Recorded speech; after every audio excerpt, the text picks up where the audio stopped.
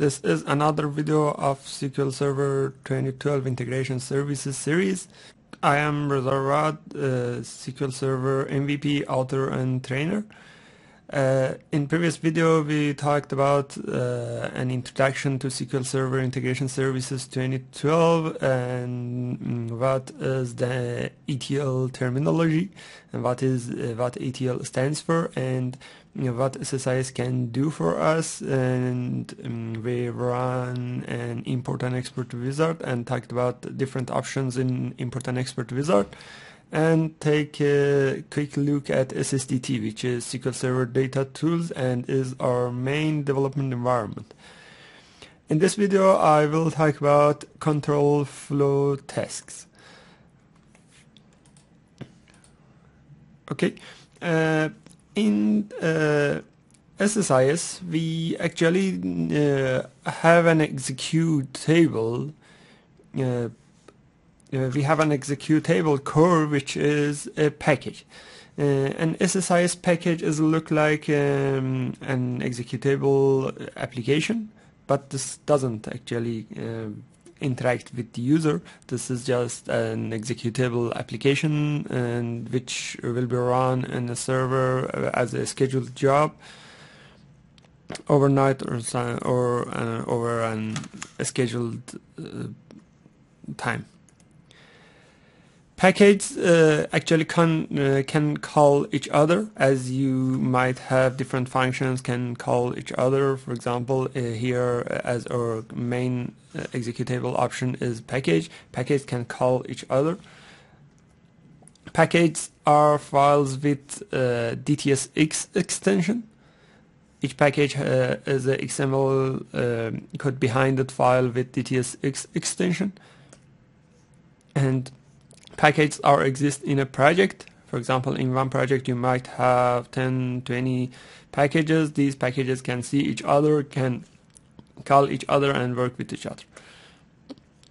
SSIS engine are able to run package. So if you want to run this package, you need SSIS engine if you deploy your packages to if you save your packages uh, to another server and want to run these packages on the, another server you need SSIS engine to, in, to be installed there. So what is our package components? Uh, package contains flow of execution. Uh, this uh, is what we call this as control flow and this video is all about control flow uh, flow of execution shows that um, which uh, part of uh, package will be executed first and which part will be executed next, which part are executed uh, simultaneously as parallel. Uh, package might contain data transfer structure. Actually, most of packages in real world have um, data transfer structure, which actually we um, create our ETL stuff there or data transfer structure called as data flow. We will talk about data flow in future videos. We uh, actually, as a SSIS developer, you will spend lots of your time in data flow to create a data flow structure. Package contains event handlers. For example, if some part of package or a specific task in a package um, failed, then uh, we then uh, an event rise and email something to someone specific, um, or if um, on pre-execute of, of something, we check uh, something else on pre-execute uh, of a data flow, we can check connections, something like that. Package contains variables and parameters. Variables are for interaction uh, uh, between tasks inside the package and parameters are the way that we interact between packages. Connection managers. Each package uh, might have different connection managers, a connection to database, another connection to file, another connection to HTTP uh, web address. So in control flow, in control flow we have executables. Each executable can be a unit that is uh, that can be executed and uh, we have control flow tasks. Control flow tasks are tasks that can be executed um, you can just execute that task separately or execute this inside a, uh, a, a container. We have containers that uh, contains one or more tasks and you can execute the whole container together. Uh, a package might contain uh, one or more containers uh, or without container just with tasks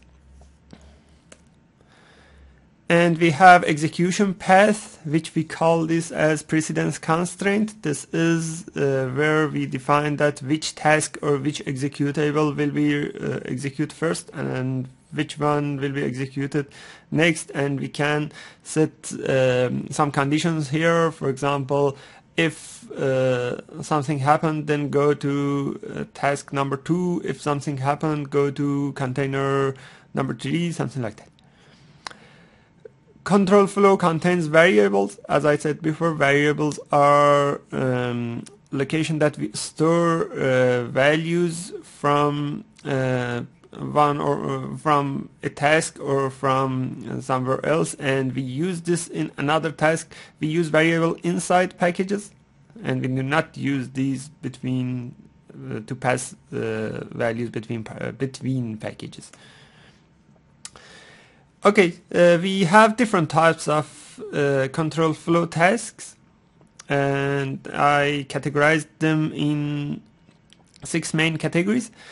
Uh, we have some DB, DB administration tasks, for example, backup database, history cleanup, shrink database, transfer login, something like that.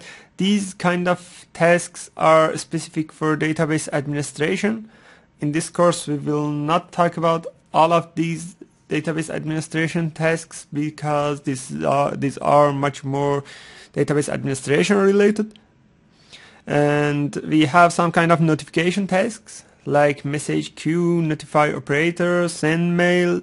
These tasks are uh, for notifying uh, an event or something like that to someone. For example, if uh, our data flow structure uh, was successful, we can send a mail to someone, or if it failed, we can send um, uh, uh, a message, an important message with the exact error message uh, detail as a body of message to someone who is support guy for or ETL packages. We have some kind of tasks that work with data, data flow, execute SQL, which is for executing SQL uh, queries, uh, SQL queries or any SQL statements in uh, database, in every database. We have bulk insert, we have data profiling task. These are tasks that works mm, with uh, data structures, for example, with uh, flat file as a data structure or with database or with XML data we have XML task to uh, actually um, different style of XML to validate XML, to merge two XML and to differentiate between the two XMLs. We have CDC control, which I will talk about that, uh, which um, work with change data capture feature of database. We have some execution helper tasks like execute package task and expression task. Execute package task will help us to execute another package as part of this package. And uh, something like call another package. And expression task which actually we said we use some kind of expression. I will talk about this expression. And we use those expression to fill a, a variable uh, to fill something into a variable value and then use that variable. We have some external resources tasks. These ta these are tasks that works with external resource. For example, execute process task, which execute a binary application or an executable application. Uh, file system task, which helps us to move, rename, delete uh, copy files, FTP task to get information from FTP or send something to FTP web service task, and WMI data reader and event watcher task to work with uh, WMI feature of Windows. data mining query and any other stuff that work with external resources like analysis, analysis services, processing and execute DDL task. We will talk about all of these uh, tasks.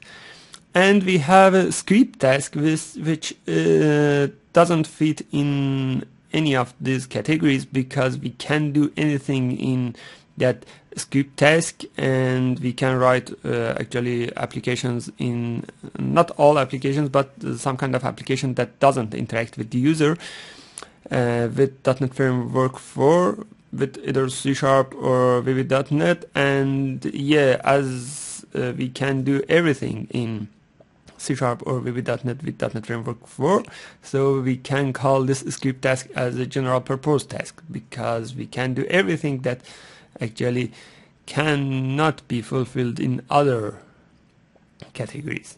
So these are control flow tasks. We will talk about uh, all categories and most of these tasks. Um, uh, not much about DB administration, but all other categories.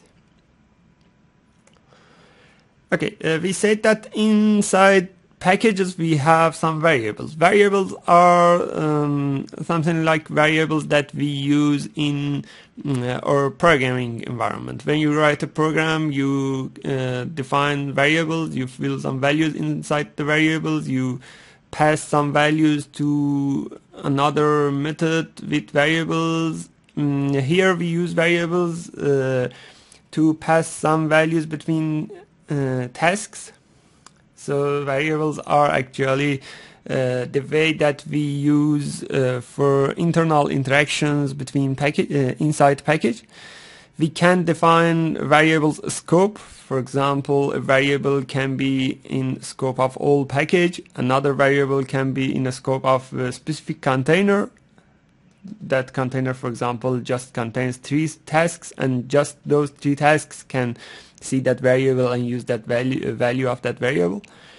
Variables contains uh, variables have a data type. Data types in SSIS is a bit different than data type in .NET Framework languages or SQL Server or any other databases.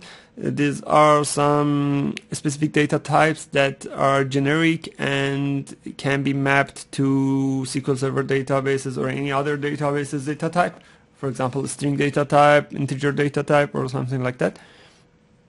Variables can have default values. For example, you can set a default value for your uh, current year variable, something like that. Variables uh, can contains expression. Expression uh, used when we want to uh, calculate value of each variable with some dynamic uh, codes. For example, we want a variable to calculate uh, current date. For example, we want a variable to calculate first um, date of finan current financial year. We can actually use expression to do that. Uh, we will talk about expression in a completely separate um, video. Okay, we said that uh, packages contains connection managers. We have different types of connection managers. Those connection managers that uh, work with database, uh, which are um, different types of connection managers. For example, OLEDB, ADO.NET, ODBC, these are all working with uh, connection managers. For example, we can use OLEDB to connect with uh, to connect to SQL Server. We can use ODBC to connect to uh, DB2 or any other databases. We have some kind of file connection managers, uh, which actually point to the location that file exists. It has some connection string and some other features some other options. Sorry, uh, we have web connection managers. These web connection managers can uh, uh, connect to a specific web URL, and we have some other connection managers, which we will talk about all of those in this video and future videos. In next video, I will talk about execute SQL task and what is usage of execute SQL task and different samples of how we can use this execute SQL task.